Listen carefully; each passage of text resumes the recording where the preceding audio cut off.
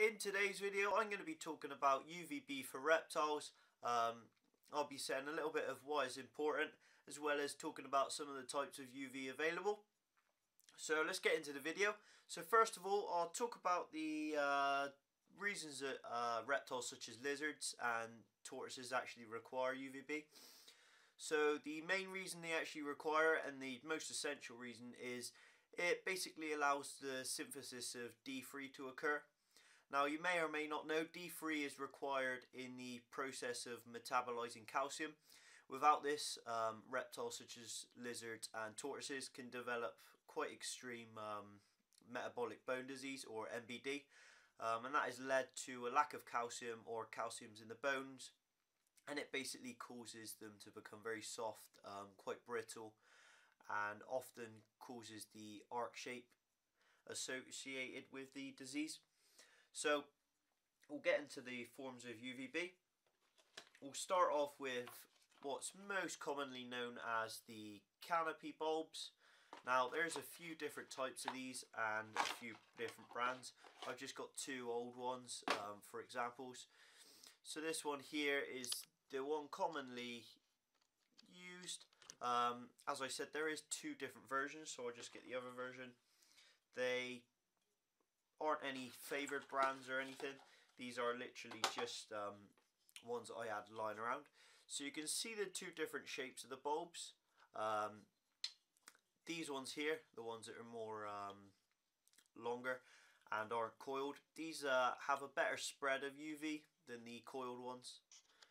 They also tend to be slightly better for um, UVB strength. Although saying this, these compact bulbs are not great for all species. They are quite commonly used for chameleons, however they are not the best bulb. They are quite poor um, in UVB and UVB spread. They're more used for stuff like small lizards such as um, I quite commonly use mine for tree frogs um, as the UV output isn't humongously great. Um, they are okay bulbs. They're UV's relatively good. I prefer um, these compacts, the slightly longer ones, to the spiral ones just because they have a slightly better output. Um, however, I do actually only use them in one of my cages, which is my um, my communal cage of my green anoles and my tree frogs. So I will be showing one of these in um, working condition in a second. The second and probably one of the most commonly used um, UV light sources is these UV tubes. Um, they are also made by a few different reptile brands. They're quite commonly used. This is a T8, so it's a slightly thicker tube.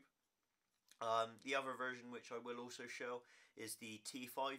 Now, T5s have a very, very good um, UV output.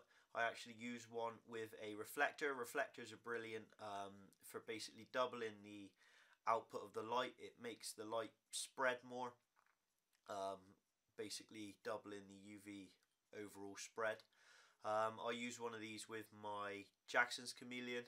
As Jackson's chameleons are a montane chameleon species, they do require slightly higher UV levels as they are found um, on the mountains in Tanzania where they have um, very high exposure to UVB. So this is a T8. I currently use a T8 with my baby crested geckos and my plumed basilisk.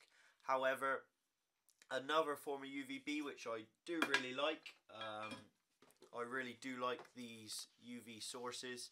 Um, I think they're absolutely brilliant and the output is extremely high is these mercury vapor bulbs.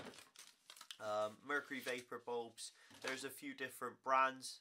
Um, I like to use uh, the Arcadia brands. I will say I'm not um, I'm not sort of enforcing the brand Arcadia or um, sort of prefer them, but I just overall prefer the output that these bulbs give um, compared to the others. Arcadia is bringing out quite a lot of um, new brands of UV lighting um, and I just prefer the overall um, outputs given by them But I mean, everyone has their opinions. Some people prefer sort of the Exo Terra, some people prefer Zoo Med. But anyway, this is the Mercury Vapor bulb.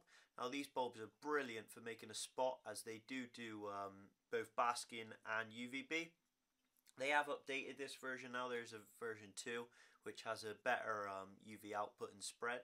They are reflective inside, so they do do a decent spread. However, using them with a um, reflector dome helps make it even better spread.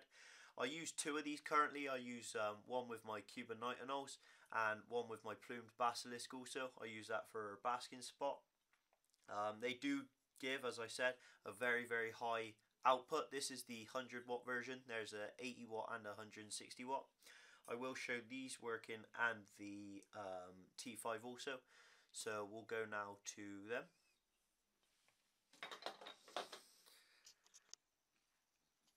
So this is the use of a um, T5 in my Jackson's Chameleons cage. Um, you can see him there. These bulbs are really, really good. You can see I'm using a reflector. I've slightly um, slanted the reflector to give um, the best sort of spread of the cage. Um, they are very, very strong bulbs. I'll now show you um, the example of a compact UV being used. Um, this will this is uh, currently being used in my adult crested geckos cage and also my um, green anole and frog cage.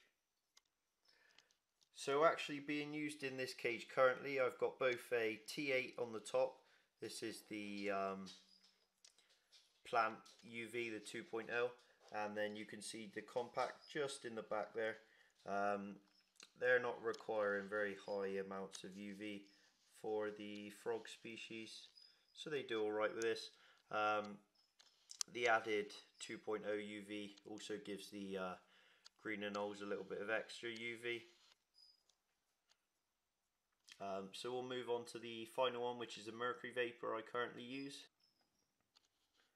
So you can see the mercury vapor being currently used.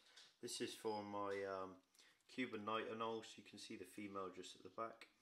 Um, their cage is looking a little bit dead at the moment so I need to put some new uh, live plants in there. But they're doing quite well so they're using the mercury vapor. So thanks for watching the video guys. Um, I hope this helped um, you guys with picking the right UV for the reptiles. There's a lot of info online, especially on the Arcadia Exo Terra sites um, about their UV light products. Um, so it can help you better to decide which light's best for your reptile. Um, overall, for the more sort of active basking species like uh, they do require quite a high UV um, output and stuff like the um, Jackson do also. I would also say other chameleons such as panthers do require a high UV output, so the um, compacts aren't actually that great. I would either recommend using the mercury vapors um, due to their high output or a T5 with a reflector. So thanks for watching the video guys, leave a like and subscribe for more content. Thanks.